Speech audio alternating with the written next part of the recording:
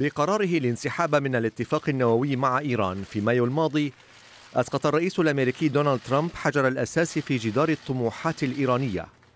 أنهى الانسحاب ما اعتبرته طهران انتصارا تاريخيا في ملف برنامجها النووي.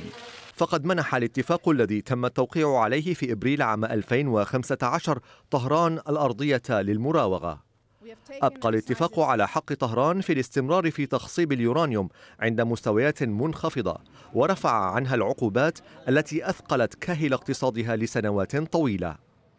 ارتفعت صادرات النفط الإيرانية لتصل إلى أكثر من مليونين ونصف المليون برميل يوميا وتم الإفراج عن جزء من الأموال الإيرانية المجمدة في الخارج وأنهى عزلة إيران السياسية لن تعود الأمور إلى ما كانت عليه مع سريان الموجة الثانية من العقوبات الأمريكية.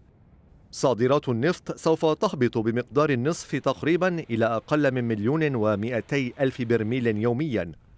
وسيبقى لطهران متنفس ضيق في الاستثناءات التي ستمنحها واشنطن لبضع دول آسيوية للاستمرار في شراء النفط الإيراني ولو مؤقتا.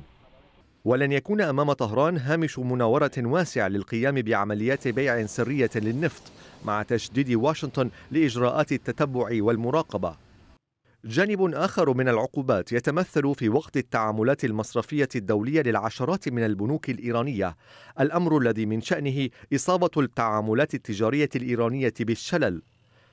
تنكر طهران أو تهون من الآثار المترتبة على العقوبات، لكن أداء الاقتصاد الإيراني بدأ في التراجع قبل أشهر من التطبيق الفعلي للعقوبات.